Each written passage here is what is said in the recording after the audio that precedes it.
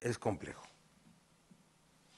Eh, se podrían evitar muchos accidentes si los conductores de transporte público y de transporte privado lo hicieran con cuidado y precaución.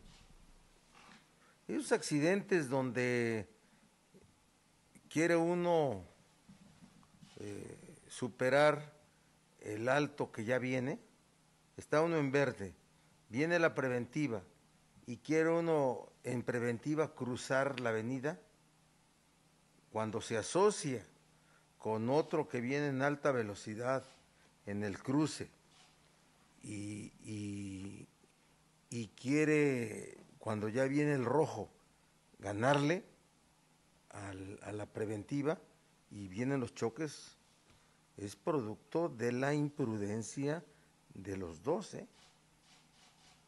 De los dos.